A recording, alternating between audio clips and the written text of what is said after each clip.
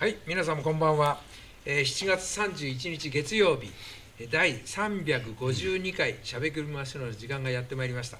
えー今日の真っ白はですね、暑いですね。まあ、街歩きセンターの中もですね、今エアコンを入れてるんですけども、まあ、大体27度ぐらい。まあ、外ですね、まあ、30度以上は出てますね。日中なんかまあ34度ぐらい上がったかなという感じです。まあ、そんな真っ白でございます。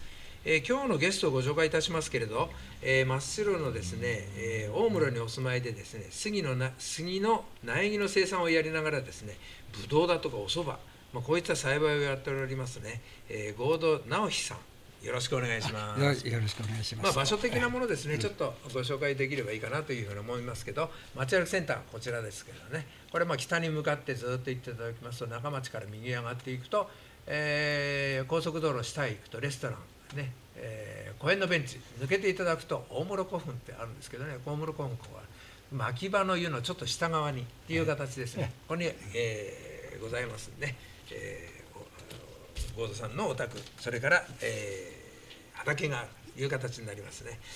で今回ですね、えーお話ししていただくのは、えー杉のですね杉は特殊な杉を生産されて今度は29年度のですね緑化推進運動功労者という形でですね内閣総理大臣表彰を受けられました。今回はおめでとうございます。どうもありがとうございます。でね、まあ、実際にこちらに、えーですね、表彰状、それから盾っていうのが置いてありますけれども、これもちょっと見させていただいてですね、ご説明お願いできますか？これがあのーはい。メインの表彰状なんですよね。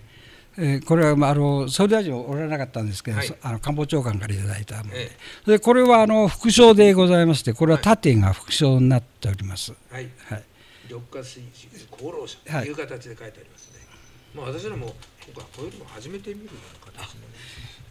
まあ、これで、あのー持ってきていただいたのがですね、第11回緑の式典、ええ。式次第っていう形ですね。はい。えまあ、こういったえ形で。まあ、あの天皇皇后両陛下を、はい。あのお迎えしましてね、はい、それであの式典をやってみましたはい、でその時に私があの代表で、はいえーこのみあみ緑のね、うんがあえー、と緑化推進の方のはい代表で私がいただいたということなるほどですね。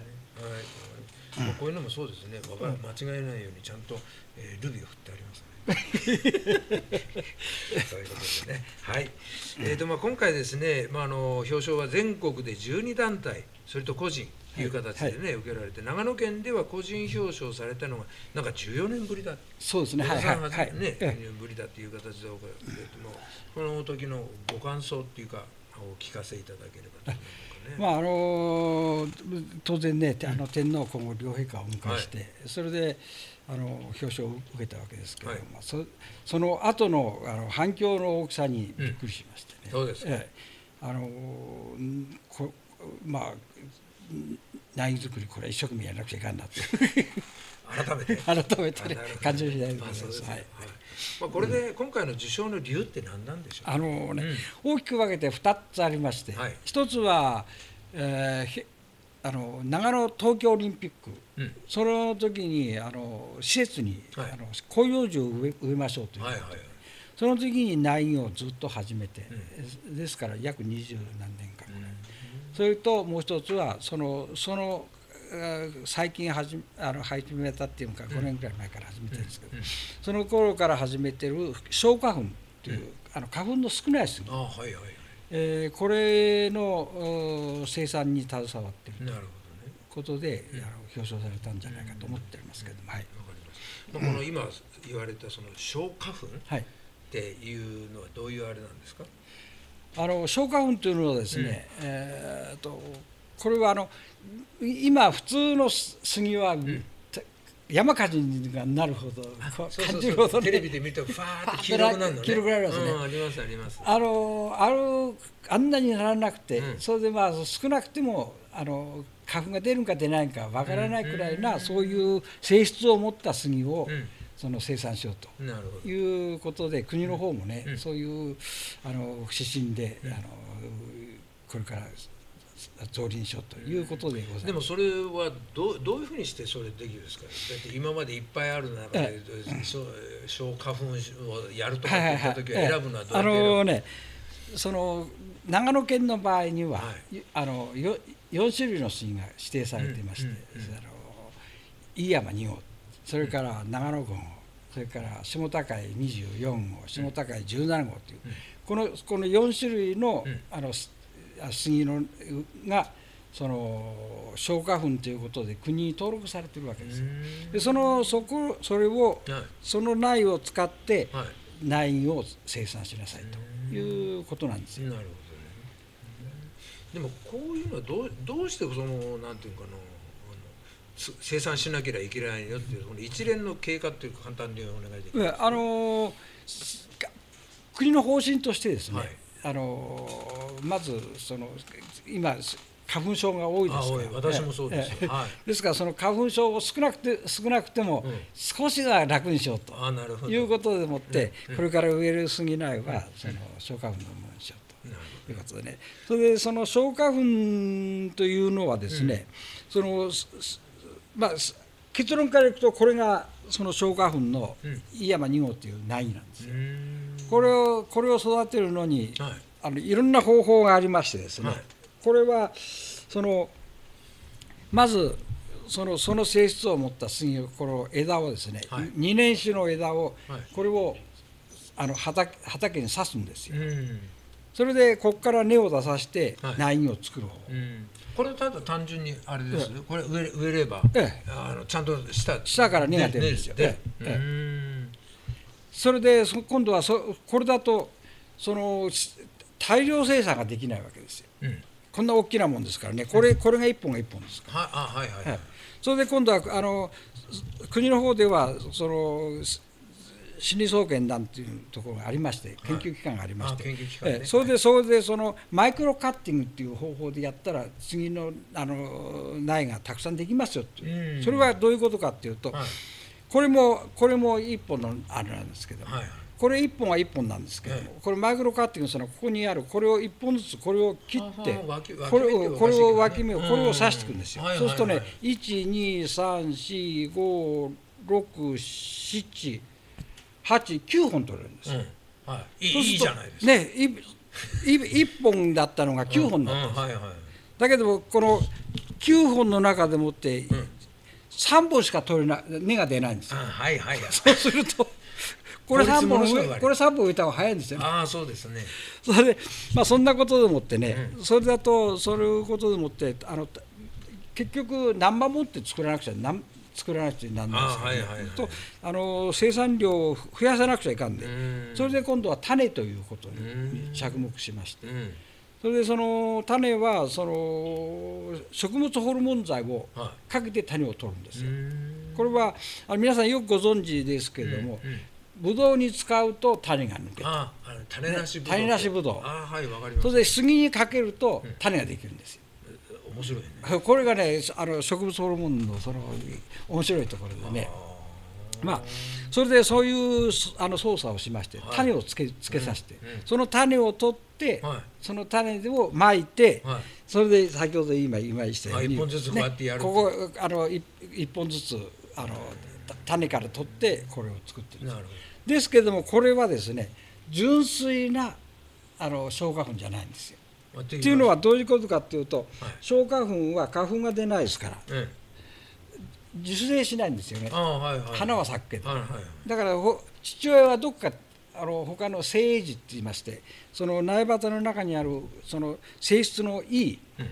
その成長のいい木からの花粉がついてるわけですよ。うん。ですからそのどのくらいその花粉が少ないかっていうのはこれからやってみないと。やってみないとダメなんですよ。ええ。それ何年ぐらいかこれはねあのずっとやっていけば20年かかるんです。ですけどもその20年かけるってわけにいかんですから、はいはい。今そのなるべく、うん。まあこんなんだどうだっていうんでもってその、あの遺伝子をこれをこの 4, 4種類については遺伝子みんな分かってますからね、うん。だからその遺伝子がどのぐらいくらいその作用しているかっていうのをまずまずその科学的に調べれば、ある程度の予測ができるわけですよね。ね。で今のところはあの国にお願いして国って言いますか森林管理局のお願いして、はい。それでまああの母親がこういう消化粉ですよということでもって植えていただいてるんですよ。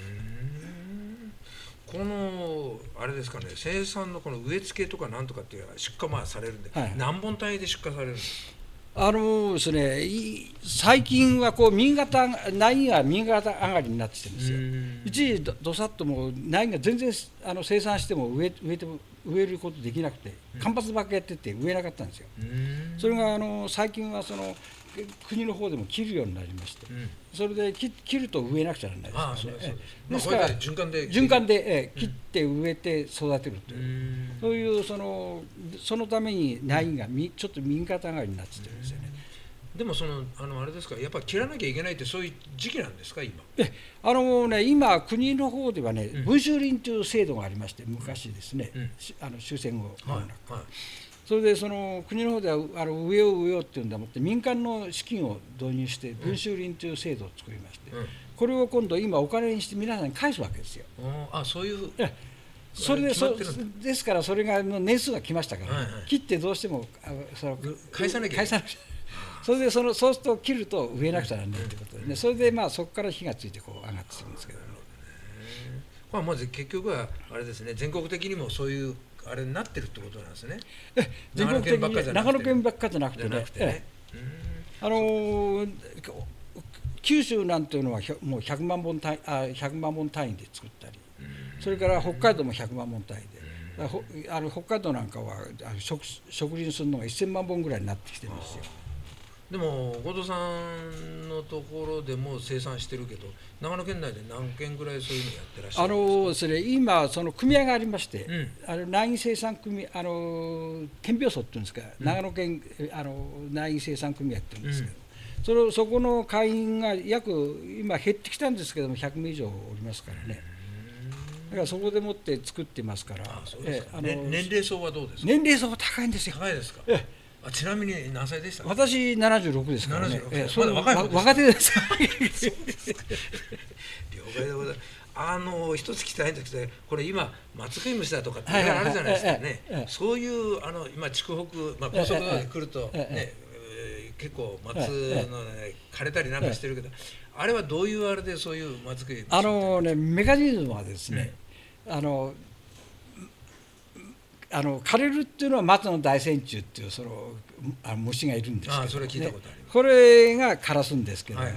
それを媒介するのは、あのカミキリムシなんです。よあカミキリムシカミキリムシがね、うん。その松の木に卵を産む、はい。卵を産んだ時にその一緒に今度はあの帰って中にいてその松あのす中によその線虫が入ってるんですよね、うん。それがまた次のところ行って卵を産むと、そこの木へ移るんですよ、うん。そうすると何年かするとその繁殖して、うん。それで松の木が枯れちゃうんですよ、こういう、まあ、大きく言えばメカニズムとしてはそういうのが分かるその線虫をあのあれか線虫っていうかその、ええ。え元を絶つっていうことはね、ーうん。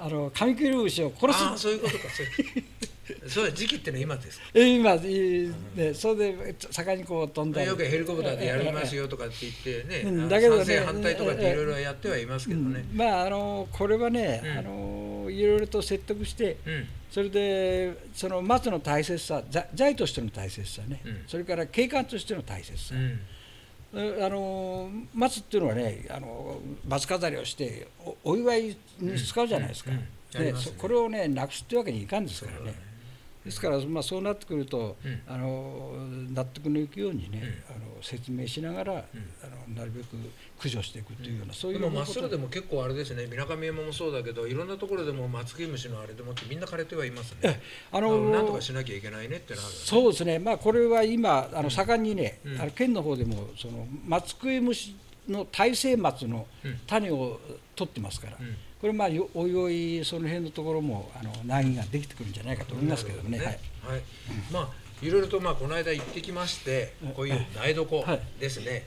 見させてもらいました、ね結構広いところで。え今結構何万本？え今ね、今、杉と全部合わせると3万本ぐらい3万本ぐらい、ね。はい、それでここにあるこのこれ,、ね、これがね結構ね、これ今さっき苗木ありましたけど、ねここういう箱で作ってるんですよ。これ今半分な、半分なんですけどもね、ここに40本入るんですよ、これをずらずらっと並べたのがこれがこれがそうですね。これをこう並べたのがこれなんですよ、これとこことここで1234通りでもって1万5千本あるんですよ。1万5千本ね。だからあの結構ね、あのないとすれば生産とすれば割合に効率のいい農業なんですよ、ね、場所的にも、ね、場所的にね、まあ、これでもってこちらはあの ブドウ。これも苗畑に趣味でやってるんですか？いやいやいや。これも本業？これ本業です。なんかもう一つ言ったらあ。のこれはあのこれは完全趣味です。そばそば。そば粉だ。ね。まあちょっと言ったらこれはあのそばの？これはそばの道場でね。道場でね。そばのそば道場っていうのはこれお勝手と一緒ですから、うん、自分で来て売って自分でそれ持ってって自分で食べなさいと。いや後藤さんも講師としてやるえそうそうそう。えそれでこっちの方はイベントの時に、うん、あのなあたあとそばが欲しいっていう人がいますから、はい、これ売るためにはやっぱりこの保健所の許可が必要あありますね、ええ、それでここれはここの場所は許可を取った場所なんです、だから誰でも入るんじゃなくて、うん、あのちゃんときちんと検便をして、うん、あの衛生管理の整った人だけが入るあなるほどあと今先ほど言いましたけどこの杉あのあれだね消化粉のやつで、はい、なんかあの後継者って言えばおかしいですけどいらっしゃるっていうのちょっと、ええ、あのお聞きしたんですけどそれちょっと説明お願いできますあの青年海外協力隊っていう制度がありますよね、はいはい、それに応募したんですよ、うん、女の子が、はいはい、でその時に内容を作りたいっていうことで、うん。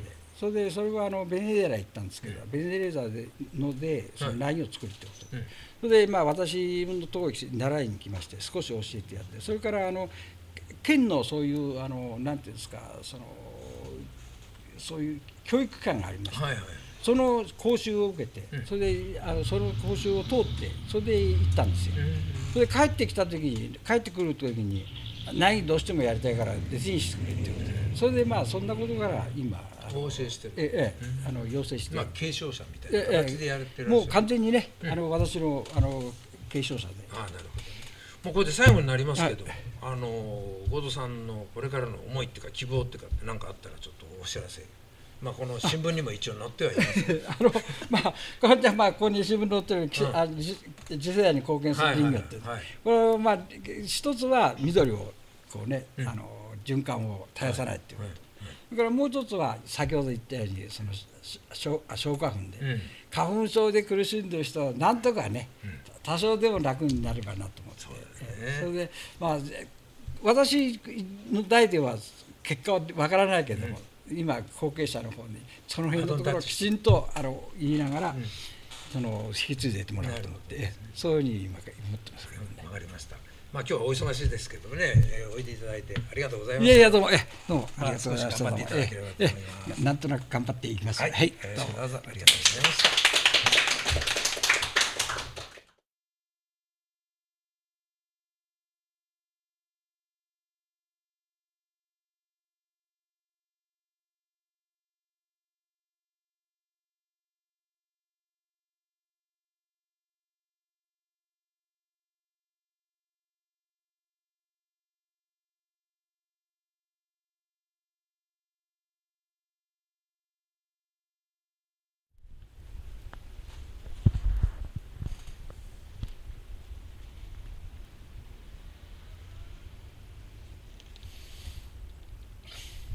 皆さん、はい、素晴らしい。そうでしょう。ほう、もうね、うん、消化粉いや、私ね、花粉症なんでね。あ、安川さんも花粉？花粉症なんでね、もう花粉ない杉作ってもらうと嬉しい。そうですね。ありがたいですよ。うん、それは20年後じゃなきゃダメだって言ってるから。どうする？えじゃあ、じゃあもう少しいっぱいあと50年ぐらいいかなきゃダメだね。だって厳しいね。厳しいなちょっと。はい。ちょっとそういうことでね。はい、お知らせです。はい、えっ、ー、とね、前島家住宅、憲法でありますけどね、これ武家屋敷ですけども、えー、8月からいろんなイベントをやってます。えー、これもまたね、えー、9月までの、これ一通り出てますのでね、えっ、ー、とね、将棋もあったりするのね、うんえー、今、盛んだからね、将棋ね、うん、そうね、うん、そういった初心者もできますよ。最近ね、盛んになってるからね。そうですね。それとね、あとはね、これ、山寺定山って、はい、ね、土蔵のギャラリーでね、あのこの真っ白にいるね吉沢澄夫さんね水墨画そういう点をやりますね。ねえー、この人はね、えーと、大工さんでもあるんだけどね、うん、絵を描くっていうので、まあ、ちょっと面白いぜひ見ていただければいい、うん、いいね、もう一つ、はい、ね、ペッパーちゃん、うん、ね。ペッパちゃん。ペッパちゃんどこ行った？うん。あ後ろにちょっと今いるんだけどね、うん、ちょっと夏休みの特別企画でね8月11日金曜日ですけども、はい。えー街歩きセンターでね伝承館でねこういうあのプログラミングをやるよって、うん、パソコン使って、うん。でペッパー君の中入れさせて遊ばせる、ほう。うん。そういうのをやる。ね、ちょっとおお値段3000円かかるけどね、うん、ちゃんとですね。うん、あの指導してもらえるよという形です。え申し込み街歩きセンター。は、えお願いしたいと思います。よろしくお願いします。はい。はい。はい次来週の来週、はいお知らせ、ですね来週はね、今度私もはい。またちょっとやりおます。皆さんよろしくお願いします。今度ね、はい。えっ、と、マッスルゼロ、オリジナルね、えーポイントカードって、なんか昔あったらしいのね。なあ前にや前にあったことあり、ううんん。うん。でね、また再開したよっていう。おでねあじゃあやめてたんか。うん、今までやめてたんだって、今度は再開しました。ね、であとし新しいね試合人さんも来てるんで、変わられたんですうん。ね、また今度はちょっとね多分多少取り組みが違うかなっていうのもあったのでねそれもお聞きしたいなと思います。南沢さんっていう支店長さん、そんないろいろなお話いただけるんですなまあそんな形でね、えー来週やりたいなというふうに思はいいます。わかりました。はい。そんなことでございます。それでは来週のしゃべくりますのどうぞお楽しみに、はいお楽しみに